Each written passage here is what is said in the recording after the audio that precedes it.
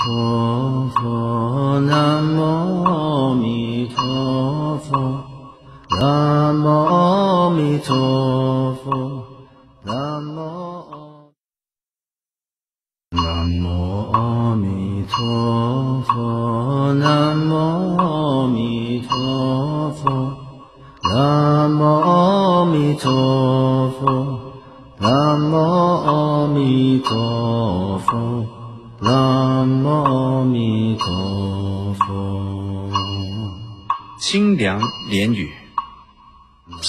下联，老和尚开始点滴。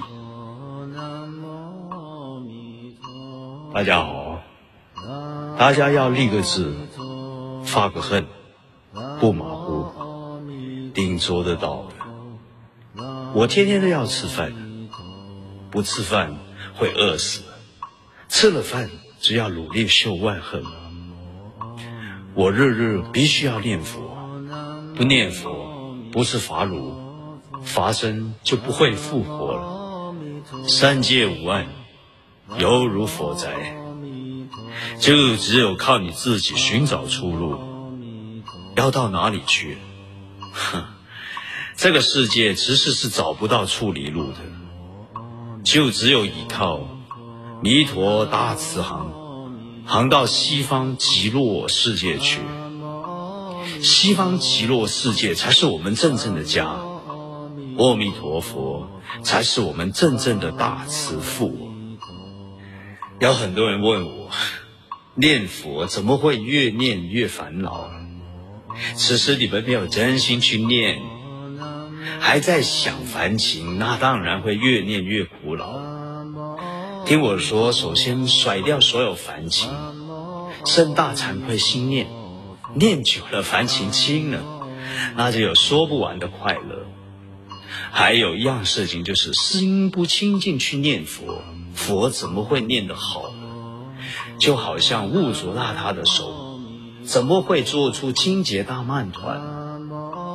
只是又难怪有那么多人念佛，有几个人真的能够得到念佛的利益？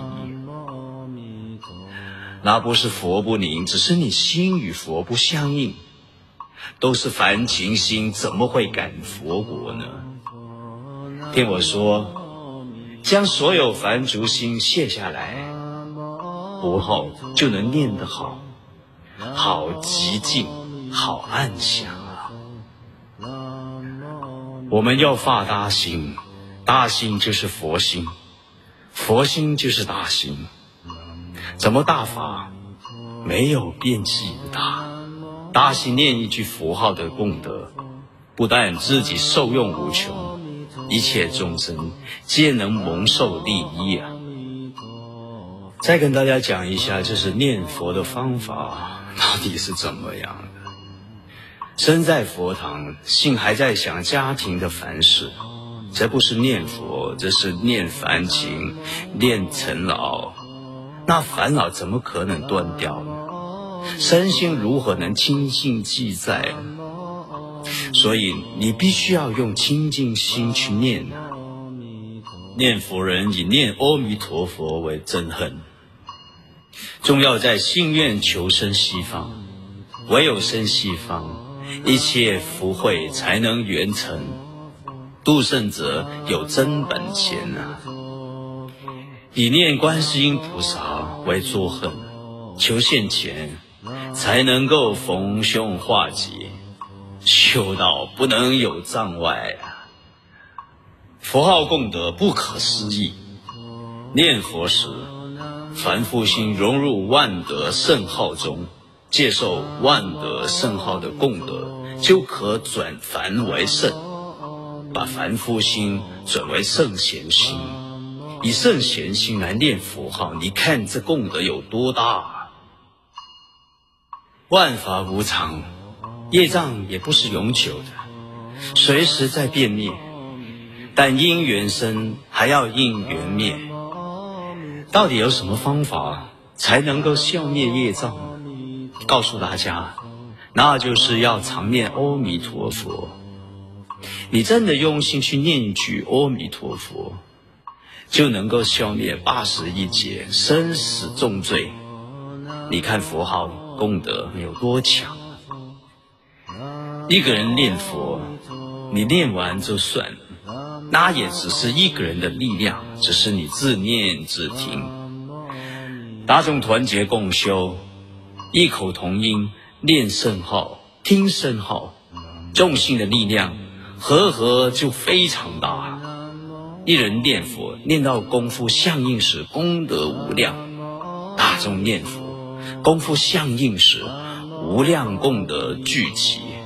这大众心力、佛力和合相应，听闻此念佛，音声就能得无量功德，偏生都融在佛号的功德中。到时有什么罪障是不可以消除的？有什么功德不增长啊？哼，必能达到圆满所求啊！无论你有多愚痴，业障有多深重。能支持一句阿弥陀佛，就是有大智慧的光明状，而且这智慧是尽虚空的，遍法界的大，有什么深重的业障不可能以消除的？怕只是怕你懒惰、懈怠、不精进，罪障如何消除？福慧何日满？真的，真的不可以懈怠呀！念佛的功德，不要只是布施给自己的亲人，对其他人全无施舍之心，这是不可以的。这完全没有发菩提心，还是一个凡夫。你想一想，自家的力量有多大？要发菩提心，把一句圣号的功德回向给所有众生，所有众生皆感谢你。菩提心是佛心功力。只要佛心功力够，众生就能够得到你一切的功德。佛性者，大慈悲心呀！只要你居住慈悲，凡心就能够转成佛心嘛。唯有念佛，求生西方，成就佛道，才能广度众生，圆门起悲。否则，佛理谈得多高多远？多妙，基本上是不切实际，不能够救度众生，也不能够度脱自己。唱什么高调？高调能当饭吃吗？大话能当医药吗？吹牛能挡着那个阎罗王吗？想得到最大的功德，唯有念佛求生西方，正无生一人，成佛道度众生，这才是唯一的最大。最神心的所求，舍之不求，是最愚钝的可怜人呐。念佛就是为了要成佛，为什么要成佛？是为了度众生。在未成佛之前，想度众生，心虽大虽好，那是不自是的。虽有小功，但是没有大德。成佛后，度众生才广大无碍。才能无限、无量、无边的得心应手。念佛法门是了生死最微妙、最高无上、最圆满的一个法门。不要念佛时还朝三暮四的，今天修这个，明天修那个，你门门修，门门就修不好。这只是空过时间，拿自己的命光来开玩笑。念佛就是像造佛，一声接一声的阿弥陀佛，阿弥陀佛的念，就是一斧一凿的刻，不停的刻，把心刻成一尊阿弥陀佛来。念佛不只是凡夫才念的，连文殊、普贤等大菩萨也在念，也都求生西方。这是佛亲口宣说。有经文为证，诸大臣经论中皆有记载，那还能听假聪明的人瞎说吗？反对人念佛求生西方吗？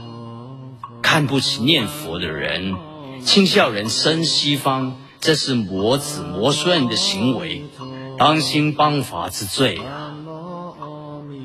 大家要发菩提心，要转凡情入圣智。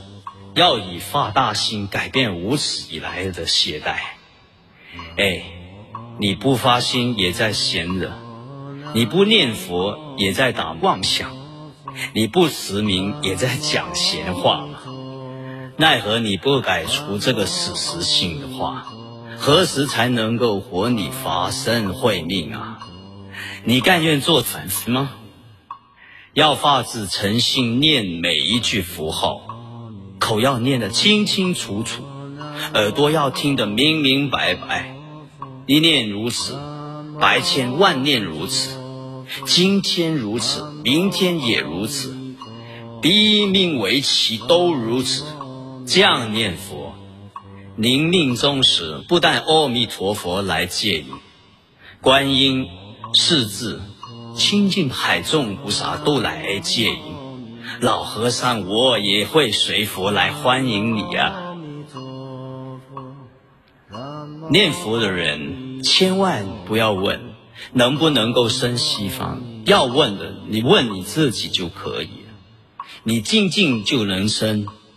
如果你懈怠，恐怕就难了。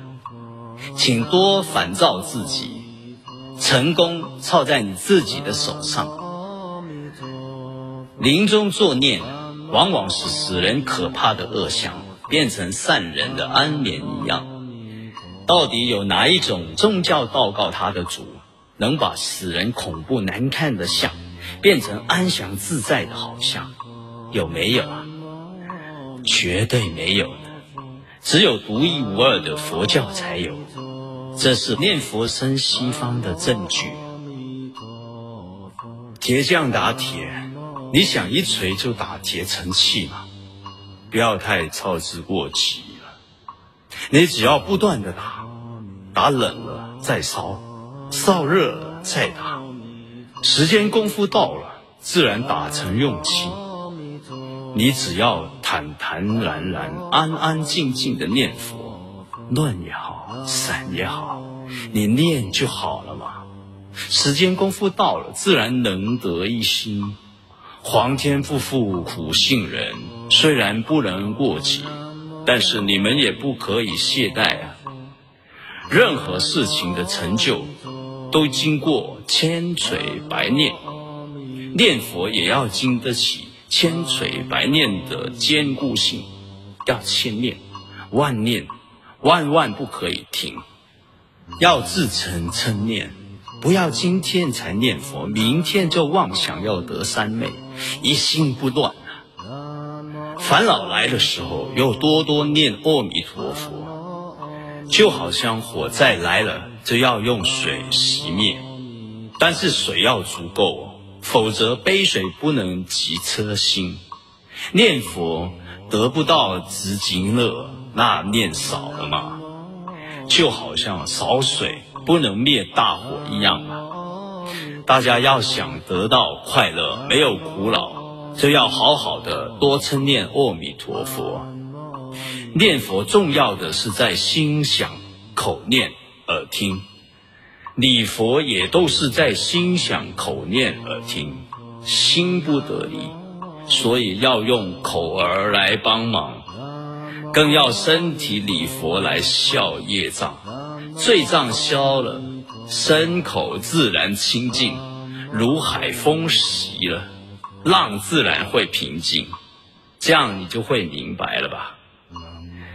念佛的时候，心中完全是佛，千万不要乱动，口也不会说闲话，亦没有贪嗔痴，所以常时念佛能使身口意三业保持清净。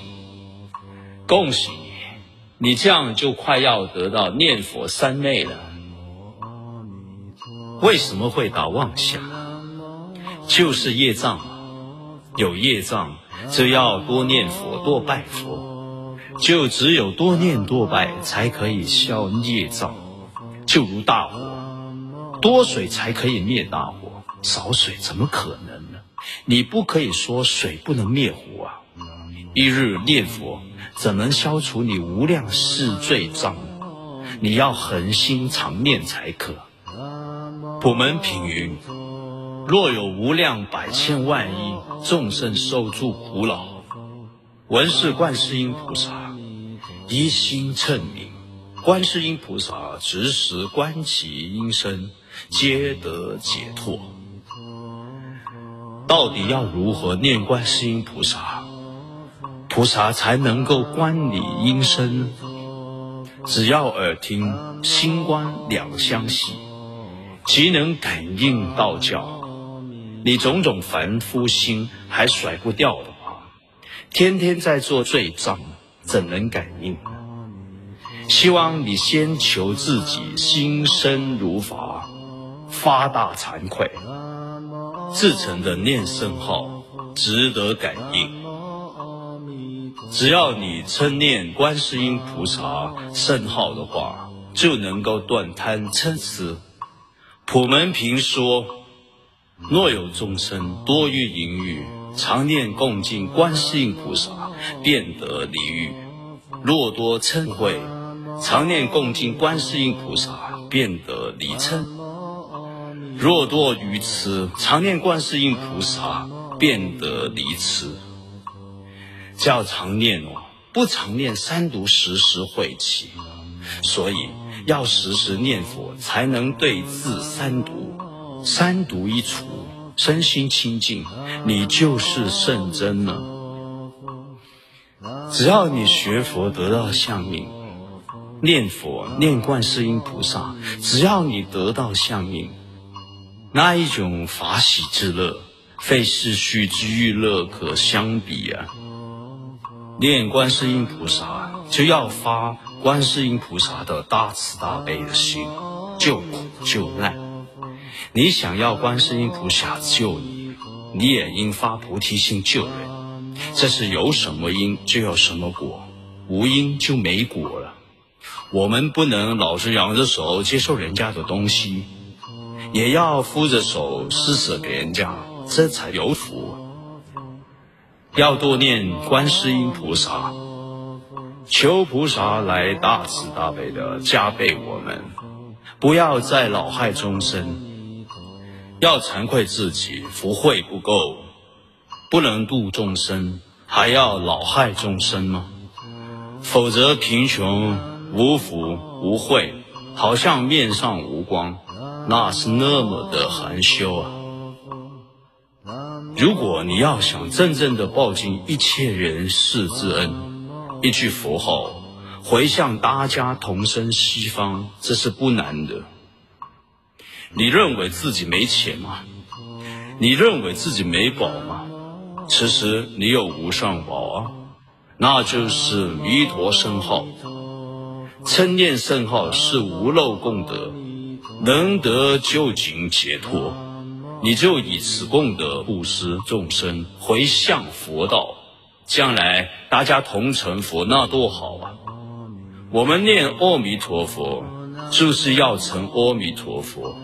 心直是佛，念观世音菩萨就是要成观世音菩萨，自心观音，这非妄此专大，是本体与佛平等所应得的，千万不要放弃，放弃就太可惜了。念佛能成佛，要好好的念，让自己一天天的接近佛，你就尊贵了。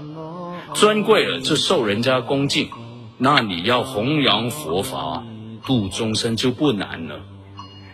没有真正的大本钱，怎能买到名贵的珠宝？想求世间一切人事成就，也不能少了沉静之心。何况想念无上尊贵之圣号，若不用虔诚恭敬的心来受持。怎能得到无上之功德啊？这是不可能的，所以必须要是有沉静心，沉静心念佛成佛，好好把握沉静两个字，切实奉行。佛号是万德庄严无上之宝，钞票美金是凡间之宝，生死之根怎能相比啊？你明白了吗？那你就应该非常积极的求出世宝。但是奈何世界上的人总是那么笨，把黄铜当作金，以为世法就是佛法，又将黄金做铜，又把佛法以为是世界上的法。南无阿弥陀佛，南无阿弥陀佛，南无阿弥陀佛，南无阿弥陀佛，南无阿弥陀佛。现在就跟大家说一下什么叫佛法的正见。大家学了佛，就只有佛法的正见。只有佛陀的观念，佛陀的观念就是大公无私，利益一切人，不残害一切众生。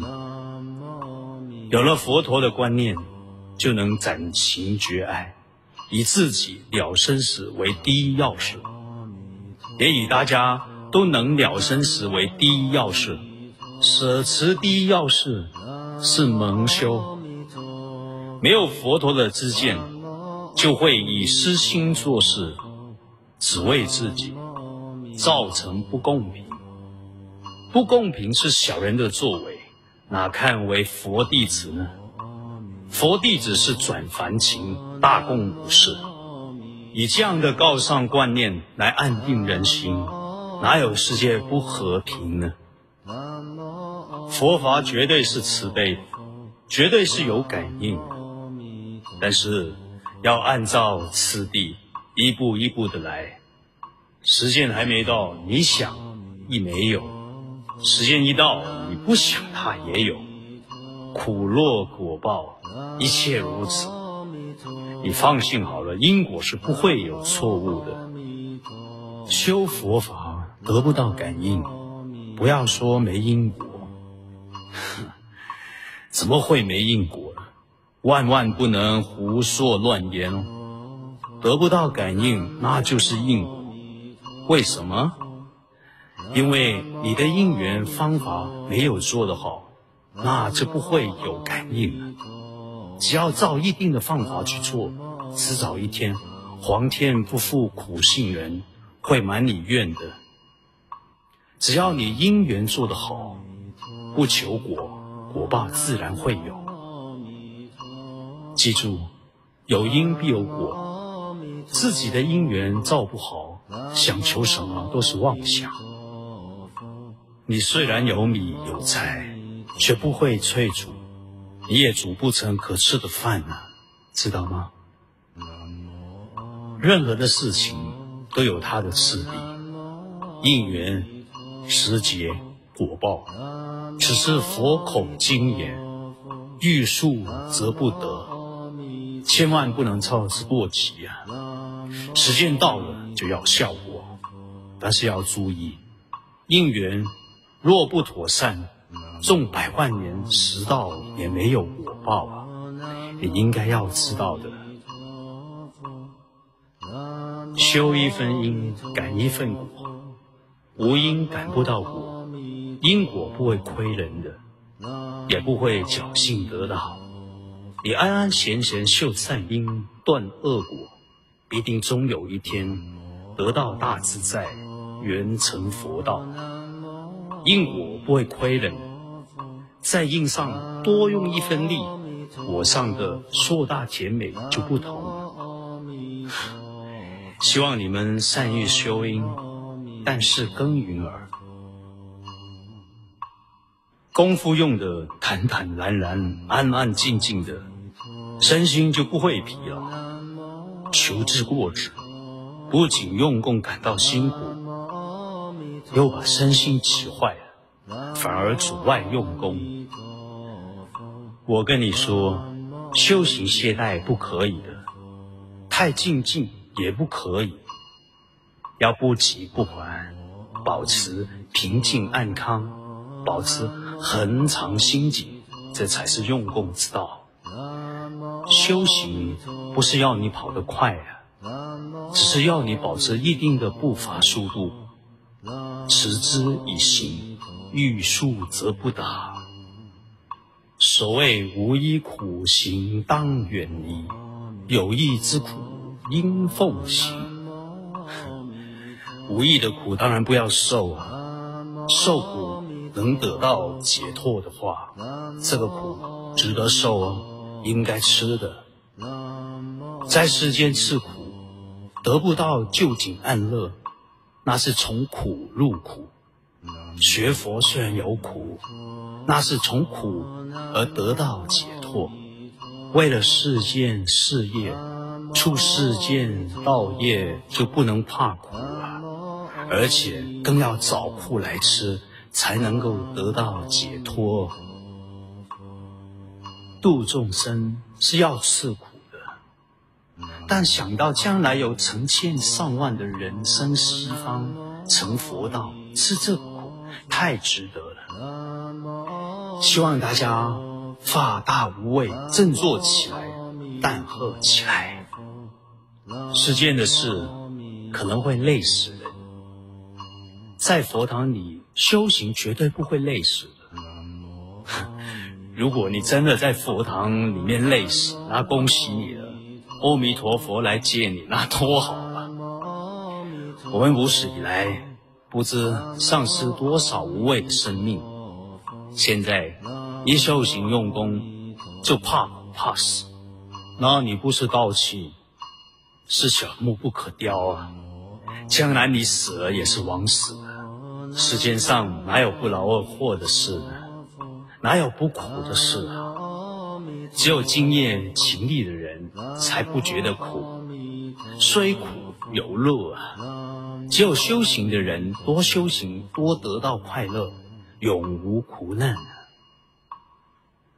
其实，如果你能想到死，其他一切的什么富贵啊，还有什么可以希望？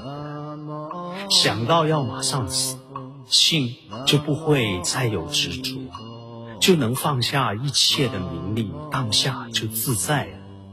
这是佛教的无常观最基本的教理，你们要好好的把握。要常做此观，令心道相应，就能出离生死，得到大安乐。你们学了佛，都要做一个真正的佛弟子。真正的佛弟子，第一件事就是要了生死。生死了了，三界之苦才能免离。这是最重要的解脱课。这课做得好。你就能度众生，成佛也会有你份了。可惜未成过，所以必须要殊求成佛，要多方面成就人，才能够大开智慧，广植福德。大开智慧，广修福报以结人缘，那你时时自在，处处快乐。若只是非常自私，怕利益人家的话，你将如何得到有福啊？无福无慧的人是多苦啊！凡是修行人，只要持戒念佛，一人修行，一人成道；无量百千万人修行，无量百千万人皆成道。不成道，那是你自己还没修好。应该好好自责，重重的自打相板呢。修行首先要持戒，持戒清净的意思就是千万不要做坏事，不做坏事再修善，修善的功德就可以完全的直具，达到圆满。要持戒还要念佛，双管齐下，念佛的功德。可以令你持戒清净，持戒的功德，往生西方的品位就高了。品位高，你就可以早一点见佛，早一点成佛，早一点度众生了。大家不要只认为念佛一定要一心不乱才能生西方，不错，一心不乱是绝对可以生西方，但是不要忘记发菩提心。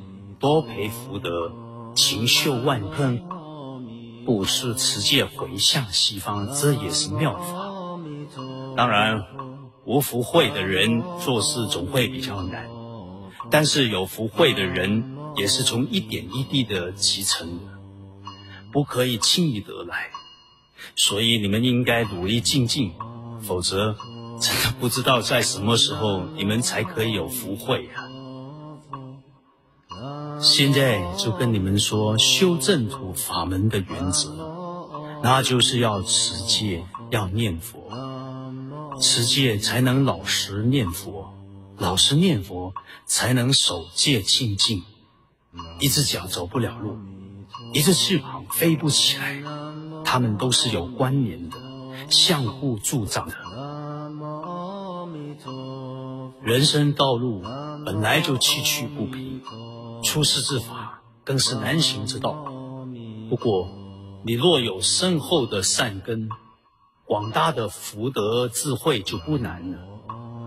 做事难有两种：一就是没有福，二就是没有慧。换上有福慧的人，就一点也不难了。你说做事难啊？不能怕难就不做啊！不做怎么样去培养你的福慧？无福慧的人是很苦的。你们要开始啊！很多人跟我说万事起头难，起头之后就不难了吗？还是难啊！断恶难，修善有难。虽然难，也要把事情做好，才能安乐自在。不做好，你就更苦，上下苦。在朋友之间，可能有一些好，有一些不好，千万不要藐视别人。也许他现在很可怜，可是他有大善根、大福德，只是因缘未到。就好像一棵小树，你看起来没什么起眼，可是到了时候，它会开香花、结甜果。届时你看到，恐怕就会流口水了。以为别人不知道，你自己起歪心去做坏事的话，那种人是没救了。就好像苹果从内里面坏出来就不能吃，你无心作恶，被坏人拖着做，那还有的救。就好像苹果外皮烂了，修掉还可以吃，最怕只是你从心中坏。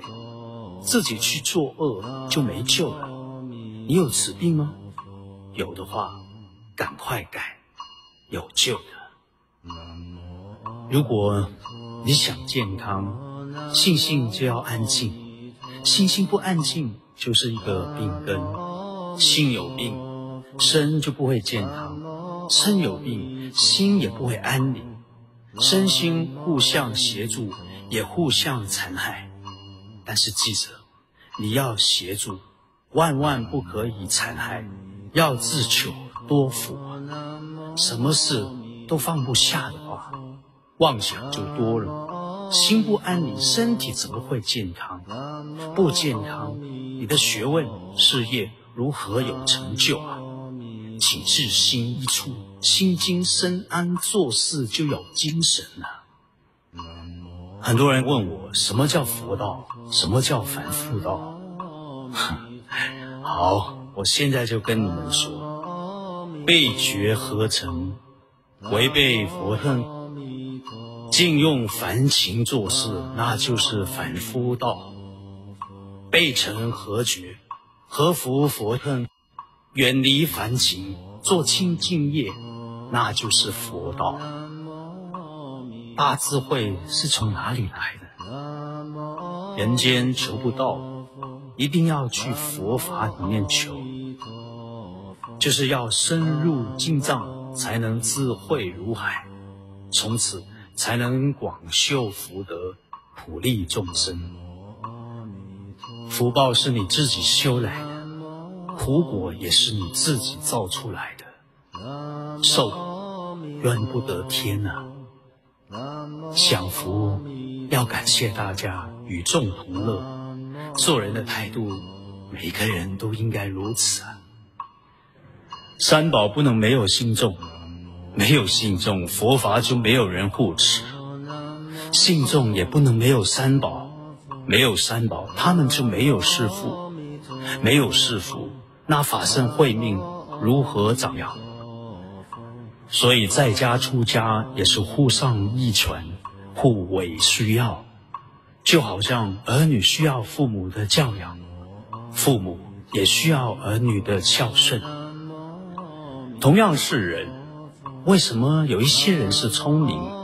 有一些人就蠢，愚蠢就是被七情六欲所迷，心中颠三倒四的乱想，把心都想愚蠢了，变成好事不会，坏事精明。要想好，你们就要快快写去七情六欲吧。菩萨心是专为人好，没有自己，他自己知道。为人就是为己，凡夫心就只是位置，没有别人。他以为利人自己就会吃亏呀，多可怜的凡夫啊！希望你们赶快觉悟，除凡情修觉悟道吧。有人才，国家一定富强；有身材，佛教一定兴隆。人才要训练，身材也要修持。如何较好训练修持？则为是为父，要慈悲培养；是徒是儿，要依教奉行啊！我们现在虽然是学佛，五欲还没有解脱，来了一个恶缘，恐怕就没有大智慧来看破、破险。在此不能不精心啊！所以学佛道要念念如临深渊，如履薄冰，一定要记得要远离恶缘。如果给恶缘一抓住，你就跑不掉了。你当心逆顺两种恶缘啊！三宝就是你饥馑时的稻粮，苦难中的救命者。一定要弘扬佛法，使社会仁德正智慧、清净三宝，发心出家为僧，宣扬佛法才能度脱众生啊！怎样去修忍辱？就是要消除正爱这两种烦恼，否则想忍也忍不住啊。真的结果就是嗔恚。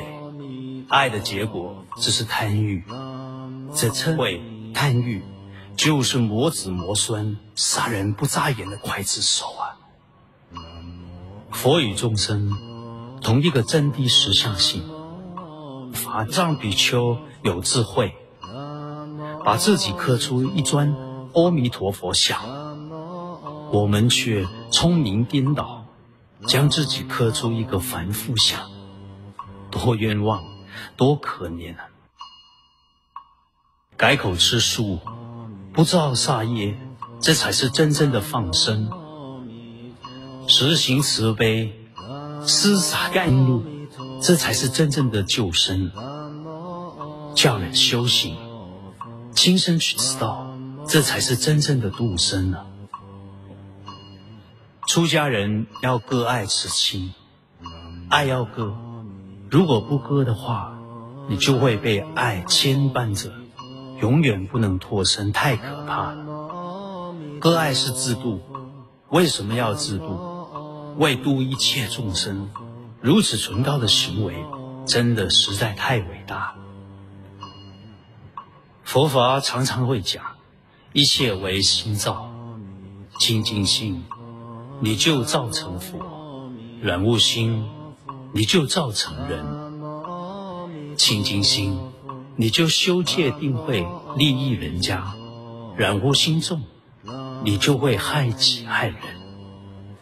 身为顶天立地的人，惭愧不能利一切人，总该不忍心害自己吧？想要面相好，不必花钱去整容，只要修人入波罗蜜，见人你就微笑。微笑的供养，就会得到对方好像是我。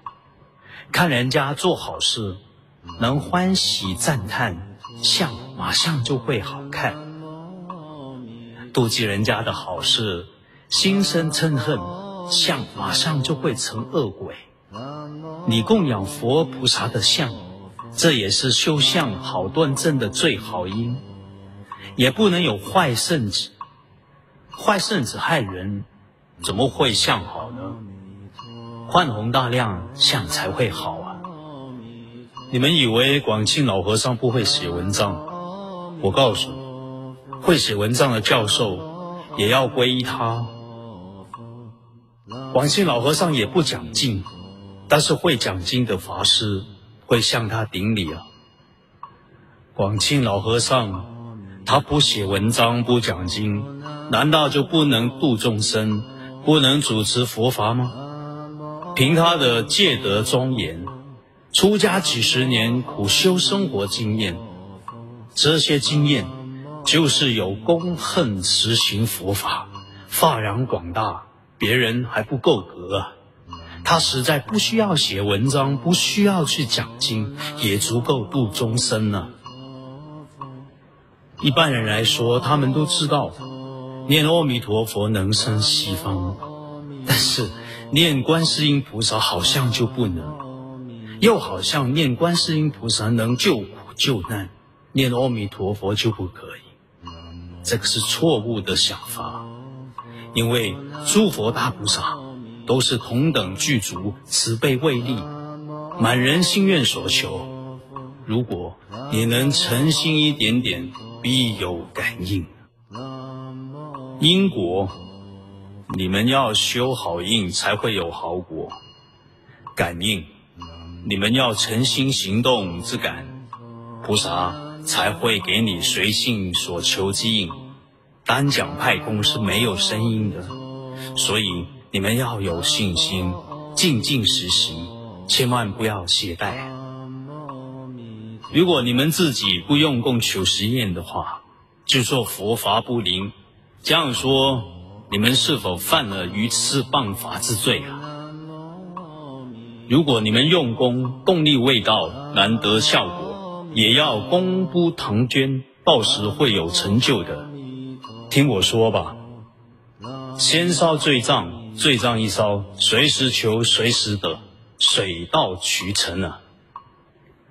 世界上一定要有三宝注释，黑暗之中才有阳光，苦海之中才有慈航。三宝之一的身最为重要。若无身修，则无福报；若无身则法门无人转动。所以，在家弟子要发心出家为僧，何等重要！若障外出家，那有何等罪过？印光祖师自称常惭愧生，就是要常常生惭愧。我们一念忘了惭愧、懈怠，种种不良习气就来，真可怕。要常怀惭愧啊！不如意就是你自己业报所感，要多生惭愧，多加礼敬以烧业障，业障烧，福报有。你就如意了。你们要注意烧业，不要造罪业哦。你守不住如来境界，就是被魔战胜。只要守境界，魔鬼、阎王都怕你，不敢来骚扰你。那你多清雅高贵，成为天上人间的第一等人啊！就只有学佛，能够将坏心变成好心，恶人变成善人。世界上当然有善人善事，但是总不如学佛出世善好。你若不相信的话，你可以多加研究，一研究你就享福了。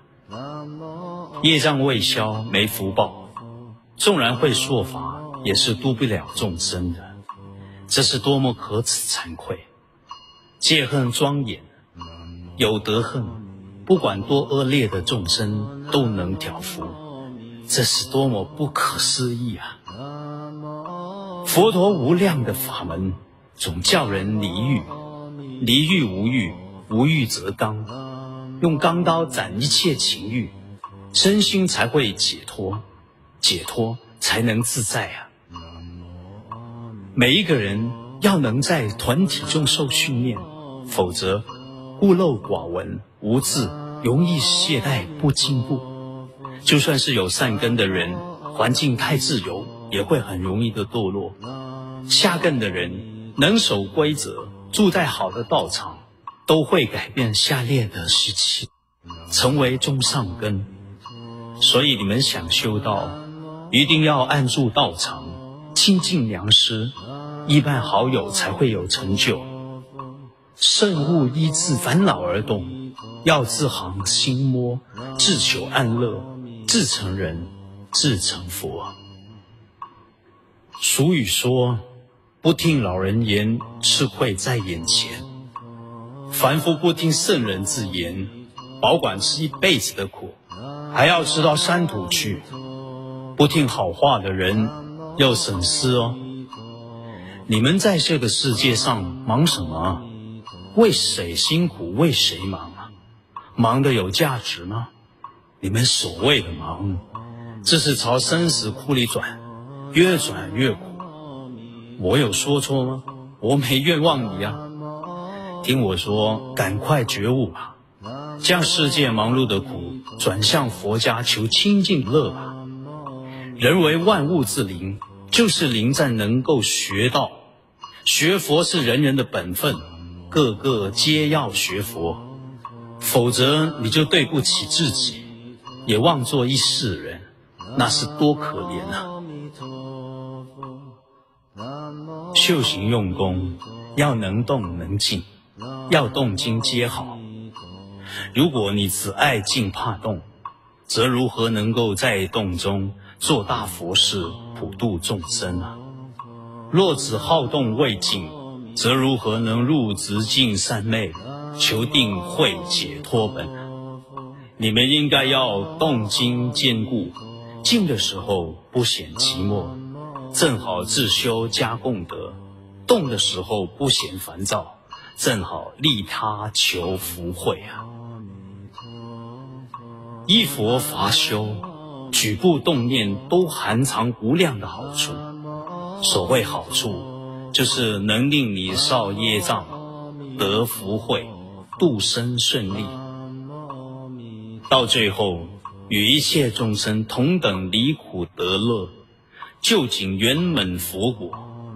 这种好处，你从哪里找啊？别的地方永远没有，只限佛教才有。阿弥陀佛。南无阿弥陀佛，南无阿弥陀佛，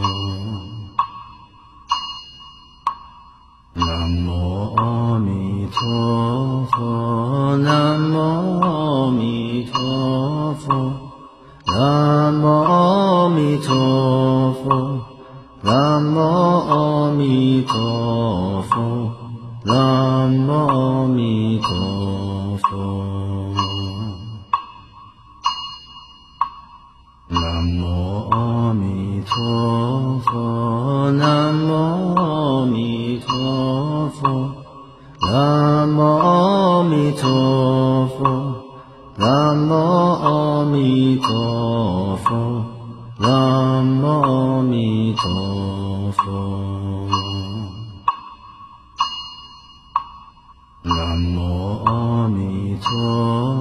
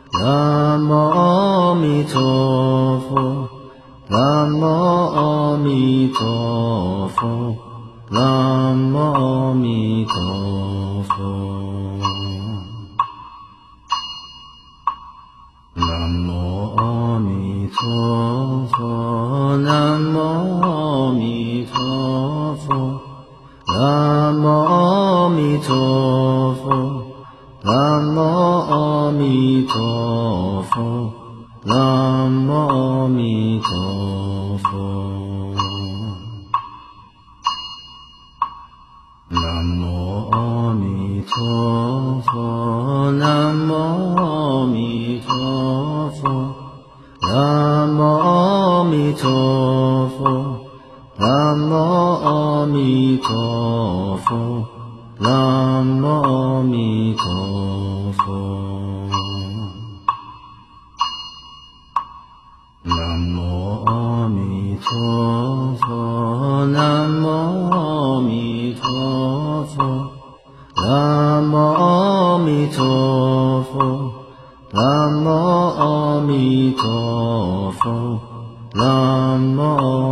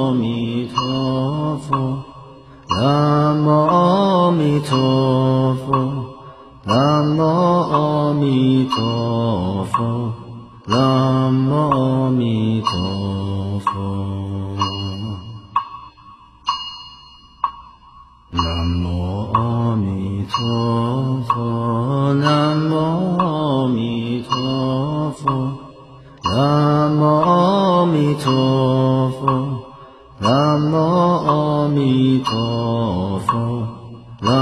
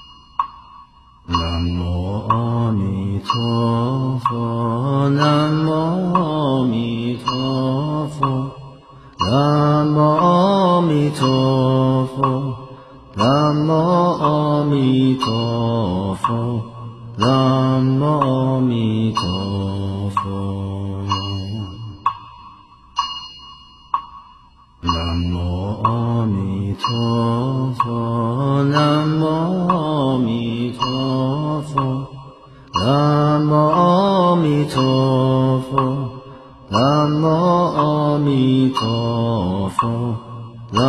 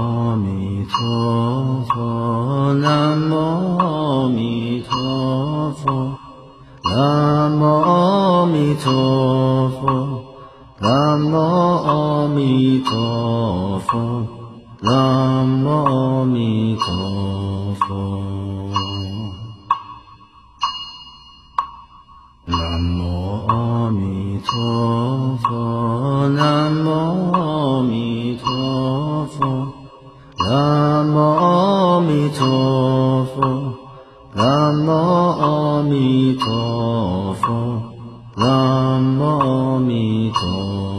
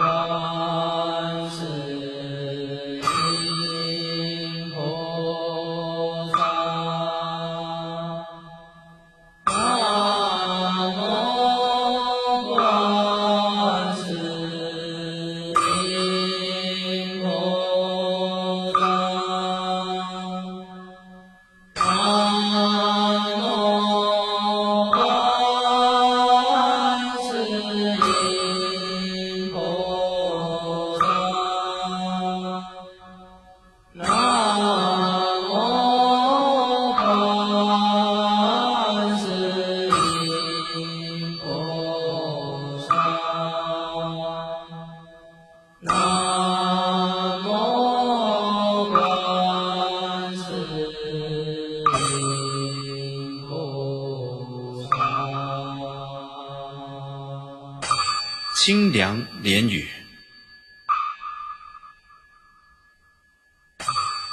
上庙下莲，老和尚开示点滴。要发心，当下就要发心，一发心马上就要立行，不要说以后再去行，那没指望了。可怜广大众生的前程光明就被这句话蹉跎了。要想静中念佛，能安然功夫能相应，洞中的佛事就要多发心做，待人自老，给人自安，不惜牺牲成就别人利益，这要从洞中修啊。佛弟子应该精进向上，如果想生西方，要多发愿求生上辈，还要求生上品。不要只想生下辈就好了，下辈花开见佛的时间太长远了。你的亲人等着你们渡他们哦。想要千人头上走，先要万人脚下行。想要在这个世界做一个完美的人，先要经过相当的学习磨练。木头想成为器具，也要经过千道万斧。若想刻成佛像，更要是尽世之功，不经刻磨，永远都会是一个木头。木头做成器具，只能供人使用；但是雕出佛像，它就可以受千万人礼拜。所受的苦是不同，得到的代价自然也不一样。你要勇敢接受磨练，这就是吃得苦中苦，方为人上人。吃得菩萨苦，方能成佛道。在众生有八万四千尘劳烦惑，佛陀有八万四千法门治疗。所以你们要放心，只要你们奉行这些法，不必等成佛才得到快乐。你能行一分，就得到一分的快乐；你们能行到满分，恶业清净。善事圆成，你就转凡为圣。做事情哪有不难呢？连我老和尚做事也有很多困难。虽然是难，但是我不怕。越难我越要做，越难我越要求观世音菩萨。南无观世音菩萨，大慈大悲，救苦救难。我有难事。菩萨慈悲保佑我，我做的事都是佛事，都是利人的事，所以我相信菩萨一定慈悲保佑我圆满达成。不但观世音菩萨会慈光加倍，十方诸佛都会慈光加倍。你们只要是为佛法、为众生，不管有多难都不用怕。但是。你们有四心沉静，不可盲目乱冲，尤其要忍耐心、信心，还要对人要和让，对事要承受，一切人事做好，皆大欢喜。那将来的佛位也等着你做啊！布施不一定要有钱财，你出力出精神，以致你说一句好话。或者是你见到人做善事，发个随喜心、赞叹的心，这个也是布施。我们每个人做事情，总想要得到很大的利益。那我告诉你，你心只要发得充足，要静静无畏，不要太爱惜身体，养成无用，要将它养成有用，才值得爱惜。这臭皮囊。他生来就懒惰，怕做好事，还要令他造恶业吗？哼！我此以来牲口所造的恶业太多了，要好好多拜佛求忏悔，使身心清净，还要多多修苦恨，行菩萨道，令他转成有大用，圆满福慧，加倍众生，发菩萨心，度众生。现在要发，将来永久又要发。行菩萨道时，现在是欢喜，将来永久都是欢喜。不要起烦恼心，没有不如意，降度生才能无限量，所修佛道才能圆满。否则你现在苦，将来永远都会苦。不要贪一时之懒，以致你终身堕落啊！你们要为三宝、为一切众生多吃苦，你一个人吃苦，就能解脱终身的苦。怕苦怎么能广结人缘，成就佛道？如果你能助人成佛，谁不向你顶礼致敬？出家学佛道，修苦恨，这是要做人不喜欢做的事。嗯，比如说清理厕所、担柴运水、烧茶煮饭等等。你们先要广结人缘嘛。这些事情不做，不培福，想安坐在佛堂念佛，你也坐不住啊。所以万恨不论大小，都是要做。不可以懈怠懒惰，反造苦果。不忍众生苦，想度脱众生，那你自己要先好好修行。最低限度，你现在虽然无法度人，但是千万不能害人。哎，用刀剑杀人，那个是害人；若用财色迷人做坏事，则更为恶中恶的害人。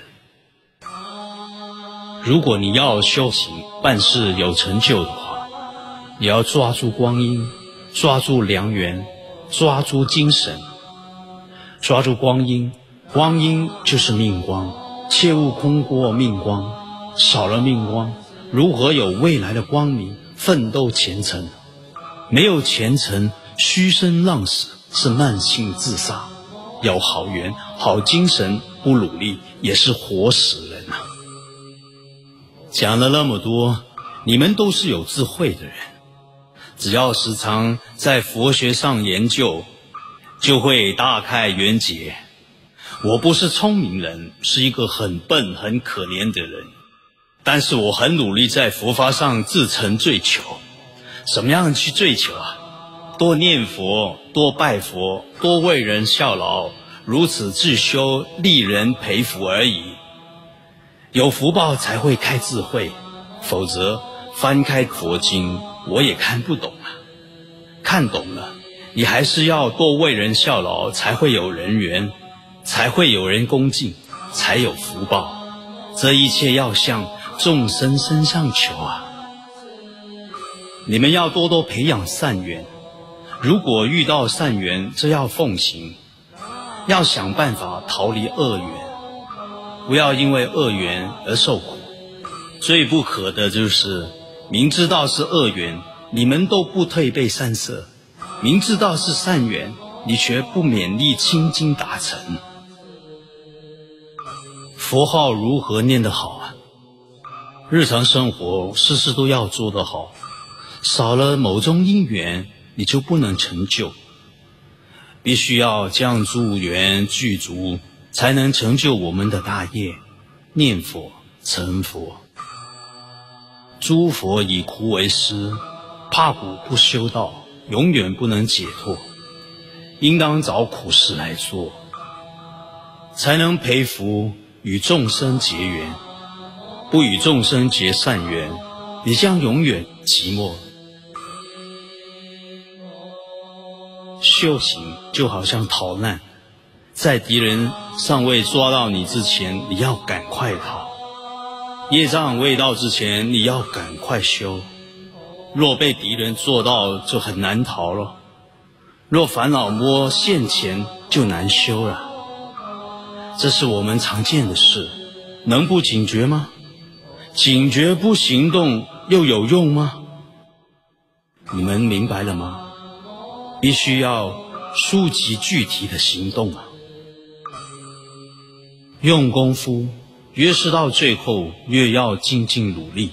就好像倒吃甘蔗，越到甘蔗根越硬，越要好好嚼，才能尝到它的甜美味道。如果嚼不动，你就甩掉的话，那你永远都尝不到最后的甜味，也吸收不到它的营养，肉体发生都得不到健康慧命，那不是太可惜吗？记住，你要用勇猛心来振作克服懈怠，以静静心来修持克服业障，方有出头日。有时候我真的不是那么明白，佛法说好话，你们不相信；魔鬼说的坏话，你奉为圣旨，这就是颠倒凡夫。好话听不进，坏话听了你就奉行，这就是魔子魔孙多么重的业障。我们要多求佛菩萨加倍，救我们出离苦恼。千万不要忘了礼拜佛陀，称扬甚好。做人不要因为不慎言说错一句话而令到其他人烦恼，也不要因为多说一句或者是少说一句令到别人心不安宁。说话真的要小心啊！应说则说，不应该说的还是不要说好了。记得，别人有好的事情的时候，我们要非常欢喜称赞。希望他的好事会有成就。如果别人不好的事情，总是希望你们能够念佛回向，希望他们坏事做不成，这样你就可以保育你的善良心，长养应德。否则万事不关心，变成硬毒。你们啊，不要只顾自己好不好，人家好不好也是很重要的。要令他人也好，指导人家就是朴实你的智慧，好心，这是你自己修福修慧的大受用。要有互助的心，否则你就会变得很阴间。那想一想，哦，他好不好，关我什么事啊？这样不应该的，请大家发发道心，布施结缘修福报，一样可以得到快乐的。老是凡夫的心境，那你永远都是无福无慧的可怜相。人家修福修慧，你还嫉妒，那你永远都是苦恼，遭人白眼。要转凡夫心为菩萨心，见人修福修慧，要能赞叹随喜，那你同样可以得到福报。如此善用心，别人的福慧也可以跟你分享，别人的功德。你也有分，何乐而不为呢？享福还要造福，不造福享用完那就没有福了。前生修福今世有，今生不修下世无。发菩提心修福，这福才广大，才能福至心灵，心灵即能众善奉行。发凡夫心修福，这福不广大。怎能令心昏迷？心昏哪能不作诸恶？世界福不离五欲，享受情欲，哪有心不昏迷啊？情欲咸水不能止渴。要成就福慧善根，第一要断恶业，本会开发，不断恶业，善根成不了啊。第二。要修福德，有了福德之基，善根才能开花结果，福慧圆满如意。好了，有福无慧，那只是吃福；有慧无福，那只是干枯之慧，也是苦。所以大家要多修福，多修慧，福慧二轮要充分的均等。前程才会无量圆净。有很多人以为自己所想到的一点点，就以为自己很聪明、很了不起。见到三字是轻慢，不起恭敬心，不恭敬如何学习到真理啊？想学习真学问，你必须要先从恭敬起，要尊师重道，得法才宝贵。你自不宝贵，如何学到宝贵的真法宝啊？记得必须要心存恭敬诚实啊！好了，当业障来的时候，应该怎么办呢？我告诉你，要心坚定安静。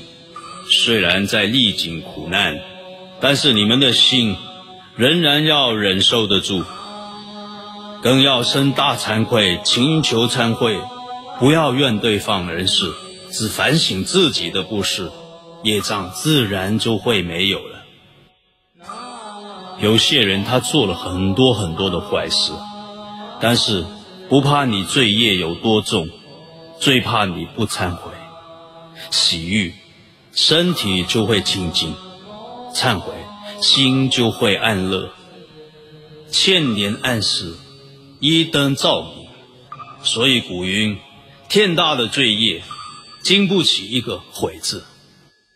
但自今而后，必要改进行为。叫人看得起你啊！用功要有真功夫，否则不必要命中才起颠倒账。现前只要有一点点的烦恼来，就什么功夫都没有。这样怎么样抵得住生死大苦啊？当知生死大敌，你不战胜，他就会把你消灭啊！功夫要达到。要在病苦中仍然能够有安身之法，到临死八苦交煎的时候，仍然能定静，那了生死方真有把握，否则只好仰求阿弥陀佛来迎接你。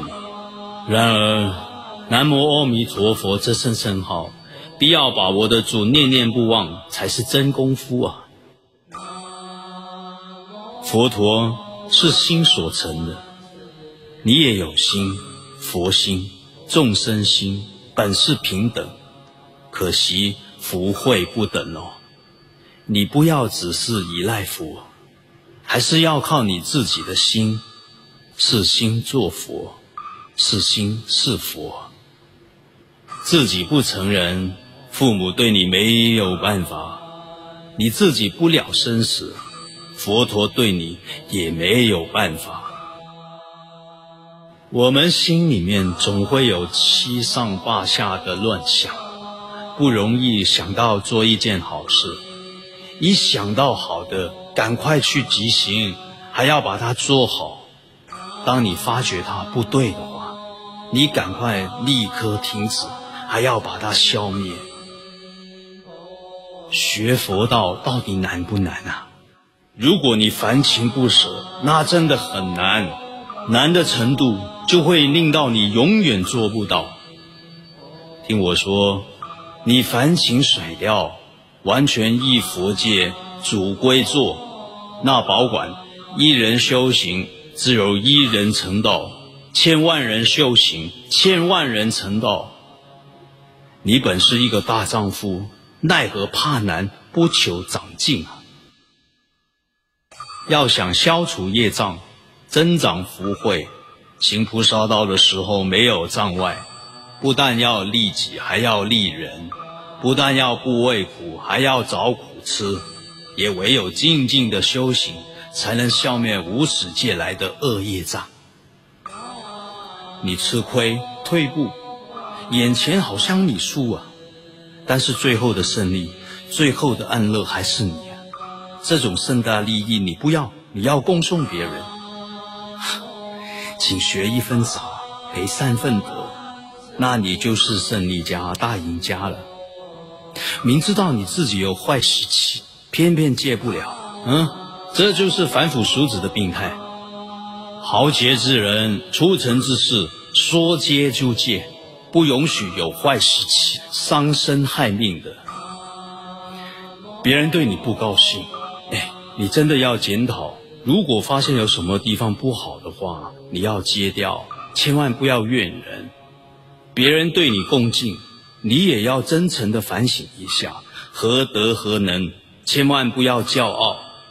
我们虽然无福会利益人，但是不能不努力增精得业，以利将来啊。若人静坐须臾间，深造恒沙弃宝塔。宝塔终有坏尽时，一念静心成正觉。大定都是从静坐之中得来的，你没有静坐的基本行持，如何得大定啊？佛法是实行之法，听闻后要实际的去学习，大智大福皆从实习中得来的。有智慧之人要多看佛经，多闻佛法，多多亲近善知识，按住好的道场，多多磨练，如此佛慧可圆满成就，为佛教增光，祖上扬名。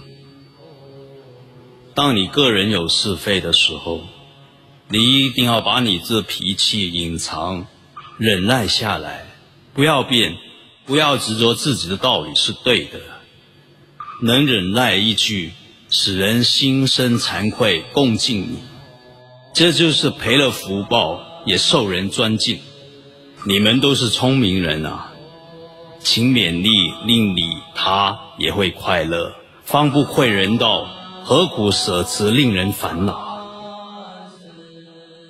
你们学了佛之后，要以随喜心改变嫉妒心，增加自己的福慧；舍弃凡夫的苦恼，要以和合心改良自是非他，成就一切人好事。千万不要破坏好事，自我折福啊！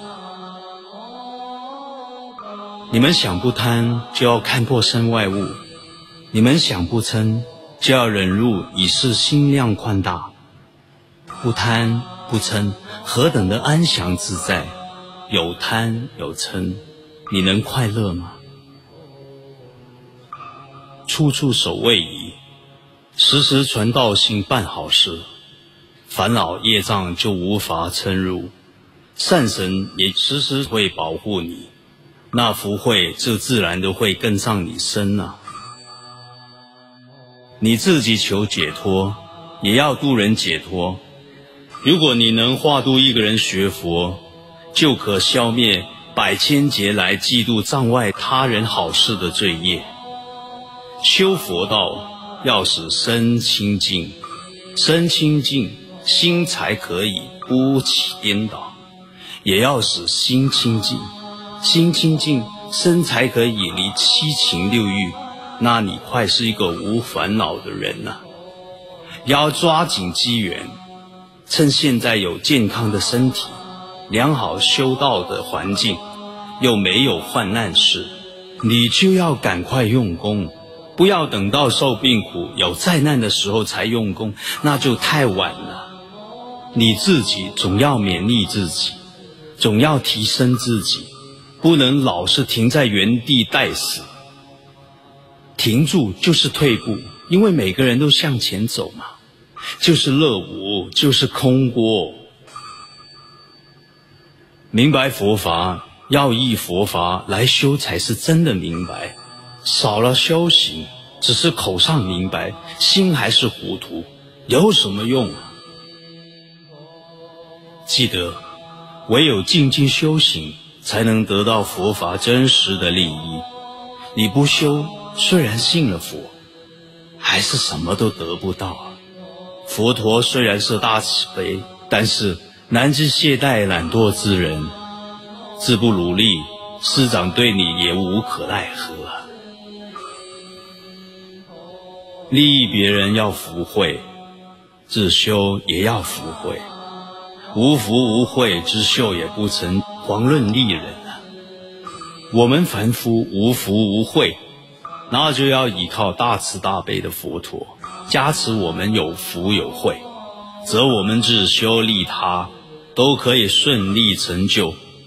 说虽然如此，但是不可不自静静。哎，你有超世之大志，就不会受到情感之苦，又能度世，所以要立大志实行。你有过人的智慧。就不会受到邪见之迷，只能化道于人，故要深入进藏。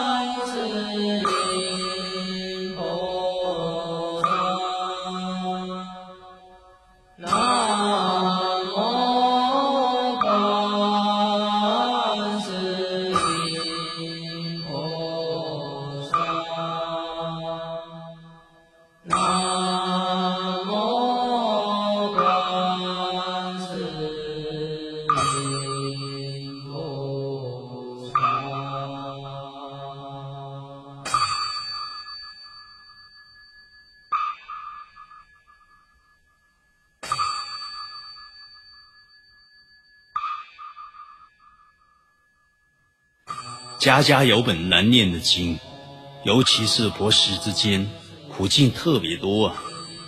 那些我们不要理了，理也理不清，越理越乱。哎，不要说了，那多念一句南无阿弥陀佛，多念一句南无观世音菩萨，解除一切，那就好了。你挂名是佛教徒，却完全还是世俗凡人之情未改，自然得不到佛法的感应啊，得不到佛法的安心啊。又怎能得到佛法的利益呢？那你到哪一天才会有解脱？老是不解脱，难道你不怕束缚之苦吗？佛教徒要受三规，守五戒，严守位仪，这是自利利他的第一步哦。如果第一步走不稳的话，下一步到无量步又如何走得好呢？如何走得到家呢？贵戒就是生活的模范，修行就是要与生活连接，要纪律化，不能越轨哦。大家都已经那么大了，坏习气没有改，修道的时候怎么会令道业精进呢？不精进忏悔，坏习惯又如何改好呢？如果改不好的话，人家怎么会敬佩你？不能受到人家敬佩，那你太可怜了。你对得起你自己人性的尊严吗？到底如何才会有智慧呢？哼，我现在告诉你，五欲心要清，五欲心不除，智慧就被掩盖。所以坏习气太重的话，做个好人很难哦。学起佛来就不容易。现在听我说。要斩断五欲吧，想用功修行却不把七情六欲斩断的话，戒也守不好。你想入真实佛法，你想真实的得到安乐的受用，哼，我想这个是梦想。情欲是苦的根源，要无生死苦，就要斩断情欲根啊。怎样才算孝顺父母？除了恭敬供养以外，要度父母，好好念佛，求生西方极乐世界，这是最就近安乐的至上孝道。可惜啊，世界上的人都不知道，不明孝道之真谛，苦哉苦哉！积善之家必有余庆。真正爱儿女的父母，要多做功德，消灾得福，那才是真正利益儿女。将功德财留给儿女，这是别人抢不去的永久太平。你们大家常常都会认为学佛很辛苦，我问大家，难道你们在家里不辛苦吗？你们世界上的辛苦有什么代价？就算你们辛苦有代价，能带去对峙阎罗王吗？其实就算是大皇帝，也无法对峙啊。有时候你们看电视节目上面，大多是蹦蹦跳跳、乱打乱喊、情情爱爱的。学道的人千万不要看，因为那些就是五尘，看了之后会妨外道心，阻碍粮食，丧失命光，多么可惜呀！你们想替儿女做牛马，做到什么时候？你以为做了牛马，儿孙就会快乐吗？靠不住的，应该好好觉悟，静静修行。这是不看破放下的，就算是年老百岁，还是无法修啊。好，我现在问你，你在这个世界上很有成就。可是阎王老子请你搬家，我的意思你明白吗？搬到阴曹地府去，你那些成就能带去吗？你们很明白，万般带不去，唯有恶业生。赶快，赶快去修善业，带到西方去吧。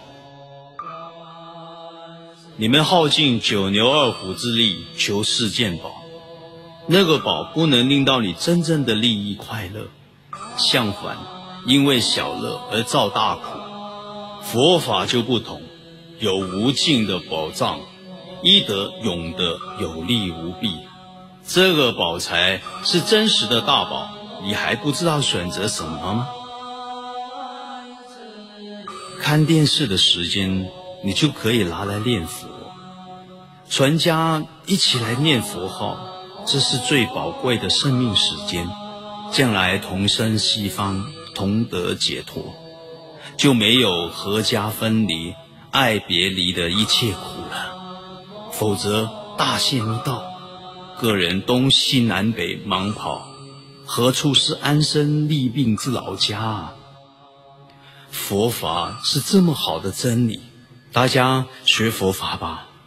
要把看小说的精神来看佛经，把看电视的时间拿来念佛拜佛，这样修行就够了。千万不要说你没有时间。不懂佛教真义的人只看表面，以为出家人好清闲哦。他们不知道，学了佛事情更多更重要。不但出家事多，在家佛弟子的事也不少啊。你看哦，要建立佛化的家庭，还要应付一切人情世故，不但事事要做好，还要不妨外自修。要是没有一点冲天之志，是学不了佛的。请勇敢学吧。酒肉朋友请你去吃饭，你说不去不好意思啊？哼，找你造恶业，你还说不好意思不去？学佛年友请你去参加法会功德，你就好意思说谎？家里很忙哦，我真的不能去。我请问你，你是聪明还是愚蠢骗自己啊？哼！佛化家庭要和和，怎么和和法？一定要忍，不忍没办法和和的。忍就是要吃亏，哎。你不要有理就不饶人哦，你也有错的时候啊。你在家常放佛号，你住的地方就成为清净的佛堂，邻居闻了圣号，也会有潜移默化的作用。那么容易的功德，你不可不做啊。你虽然皈依三宝，受了戒，但是有没有好好依戒奉行？你钻研禅学，但你有没有好好参过禅啊？你研究念佛，那你是否有好好的念过佛啊？真正念佛参禅的人，到某一境界的时候，自然念到一心不乱，参到明心见性。没有真正的修持，是不可能从自信中流露智慧，也不可能清净持戒圆成。你喜欢看经，是否共经虔诚的礼拜受持啊？你看经的时候怎么看的？歪歪斜斜的坐着，翘着大腿，好像看小说一样，将经卷在手中，这样看经方法是不对的，这样是不可能得到殊胜的智慧和果报，得不到的。那应该怎么样去看经才对？我告诉你。应当衣冠整齐，严肃位仪，端身正坐，或是贵重，真诚自己，智能一旦豁然贯通，大开圆解，妙办无碍，度胜自在，共恨圆满，成佛是事实，不再是梦想。你做到就能得到，做不到就是梦，那你自己想清楚了。学佛只是要除财色名吃睡的地狱五条根呢，但是如果你用来求财、求名、求儿女的功课好，求事业发赚多一点钱，对，这当然是人之常情。可是念佛功德来求取这一点点的甜头，就好像用金子宝石来打一只小戳。那得到是什么？划得来吗？有很多佛教徒来向我诉苦，晚上他们失眠。哼，其实失眠不是正好吗？可以利用这些时间来拜佛啊！拜到疲倦的时候，倒在床上自然呼呼大睡。如果再次睡不着的话，只要心不烦躁，静静的躺着，也可以养神，令到身心安养。最怕睡不着，性又不静，翻来覆去，当然不能修养啊。白天精神不好，做事也没有精神啊。所以要好好的调心调神，再静静的拜佛或是静坐，用这个方法可以治疗失眠哦。富贵的人不要健贪，贫穷的人也不能健贪哦。富贵的人想保持下一辈子富贵，那就需要共行布施，否则你下辈子就可能是贫贱。贫穷的人想除贫穷，那更要勉励布施。虽然无财，可以生性贡献三宝啊。唯有常行布施，才能免于贫穷。而且可以得到永久的富贵，修好因得好果嘛。到底如何才能够令到三宝久住施呢？哼，法法因缘生，什么因感什么果，就是要大家合力拥护三宝，恭敬三宝，建谢道场。令无量众生有收学的地方，获得解脱。若无生宝，何但如来家业？那就是要发心出家，烧农佛种。希望你们能贺丹做大佛事，得到大果报，请发奋向上吧。我们对财色名是睡。要忍哦，你不忍，它就是地狱根；你能忍，拔除地狱根，就能得到解脱自在。所以学佛道不容易啊，要舍掉凡夫最喜欢的欲爱。难怪学佛的人少。你们要知道哦，出家人是大丈夫，其实学佛的人都是大丈夫。不是大丈夫，怎么能学佛啊？人家所爱的，我们要舍弃；人家不喜欢的，我们要去做。好事与他人，恶事自向己。舍己利人，这就是实行佛法。恳请大家做好，各自求福慧，努力利他人，功德自然归于我们。利益人好像是自己吃亏呀，其实皇天不负苦心人呐。在家信众要建设佛化家庭，要过佛化的生活，早晚都要有课程呐。不要和一般没有学佛的人一样醉生梦死，不怕没有时间，就是怕你们懈怠啊。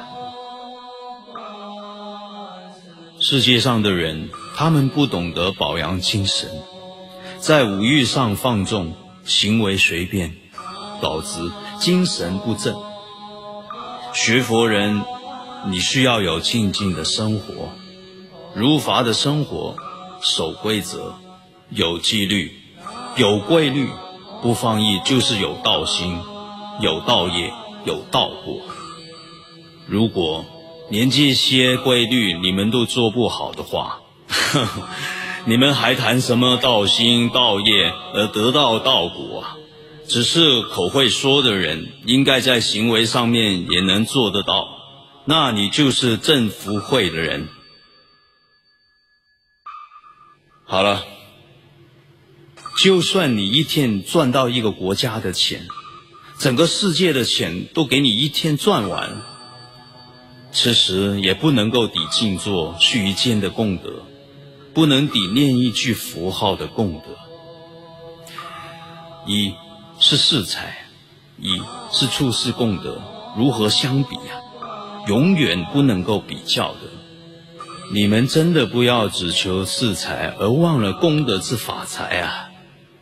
赐财有苦无乐，法财有乐无苦。一个人能忍辱，就是大丈夫。大丈夫才能顶天立地，运转乾坤。天则风调雨顺，人则互敬暗合。不能忍辱，就是凡夫俗子，是天地间最可怜的弱者。遇事不顺，只怨天尤人，从不自省反观，改进向上，徒增苦恼。到布店是买衣料的，到食品店是买吃的，到寺院就是要闻佛法。修持佛恨的，不要跟师父谈世间的闲事，那是对师父不敬哦。师父也误了你，不把握良机，教导你学佛法。五戒不守，作恶断不了的；菩萨戒不守，万恨修不成，遑论成佛啊！不能断恶修善。怎能获得佛法无上利乐？要自求多福啊！好孩子绝对不会让父母操心，好佛弟子也不会让佛菩萨掉眼泪。父母总是希望子女做好人，佛菩萨总是希望我们每个人都成佛。你感想如何？你立志如何？你作为怎样？曾回答一下看看啊！我们能够有这个身体用功，这是父母所赐的，不能忘本，不能没有良心。父母健在的时候，要回乡他们增福寿；父母不在的时候，要回乡他们生西方。这是学佛的众弟子最重要的孝道。类似的父母在山途里望我们得救，如果我们不力求解脱，又如何救度他们呢？不要学佛道，行佛事，度化世间一切人的父母，则我们父母自然得度。你们不要武断认为啊，鸡、鸭、鱼、猪是天生给人家吃的。那是以强凌弱啊！你要知道，你嘴里吃的肉，不是你过去的亲戚，也是未来的佛，他们都要佛性，只因造恶业而堕为畜生。若他们业报尽，修佛道，将来也会决定成佛啊！儿女本是在。讨债还债，无债不来。如果你生个孝顺的儿子，那是来还债的；如果你生个忤逆的儿子，那是来讨债的。你不要怨天尤人，要怨你自己，那是你前生欠他的，欠了债就要还，不要因为这样又结下了冤仇。学佛的人要发愿将东土十方皆敬重四方九品莲的大愿大力之心，转人间成净土。首先要以伦常感情化度家人。你不可以想我自己修就好了，家人随他们吗？民主吗？这是不负恩情的责任，没有慈悲心啊！要想自己的儿女将来如何的好，首先要培自己的德行。古人说：“知善之家必有余庆。”口要说好话，身要行好事，业业要清净慈悲。这三业做得好，就有人品道德。有了人品道德，怎不会有好的下一代呢？大善人家必有好儿女来投胎啊！听我说，不论家庭、社会有什么争执，忍一句烟消云散，退一步海阔天空，就没有是是非非，没有冤家对头了。能忍能退，那在人间就如飞鸟行空，自由自在，没有一切障碍。能忍退者，就是大利人。一个人去了我执，就没有凡夫心。我好，你怎么不好呢？在人我是非上搞，一切事情都随缘，不看别人的坏处，多么好啊！看人家的坏，你能好吗？我要向各位化缘，化什么缘？钱财吗？哼，你们自己都已经会布施，不用我化。我是要画你们家里的小宝宝做生宝啊！你不是想死后超生到一个善处吗？一子出家，九族超生哦。你送你的好儿子来出家，到时你就超度了。这么好的事还不发心，那你不但兼贪，也没智慧哦。快求大福报啊！学佛的人要自利利他，要发心度人。你度一个人学佛，成此功德，自己修行时也减少障碍。你无心度人，怎么会有福报呢？若人发心度十人、二十人，甚至一千人、两千人，这样你修一年就超过人家修十年的功德，多好随缘随时都要做善事，无时无处不是求福处。只有懒惰虽生如死，把世俗心放下，才能一心向佛。必定要自心多念佛，烧了业障，你就会放下一切尘劳，是多快乐啊！佛教徒要不同一般人，除了要赡养父母。更要度父母幸福，令他得到解脱啊！以上的清凉言语说得非常啰嗦，无非是爱之切，因此难免废话一箩箩。其实聪明人当然不用看了，可怜如我一样笨的人，就要多看、多学、多行、多做。虽然不能达到万善圆满，总要坚决消除万恶清净。如果你们不想作恶、修善、离苦得乐，那还是必要修万善，才能断万恶，方能离苦得乐，万德庄严圆满。老和尚就讲到这里。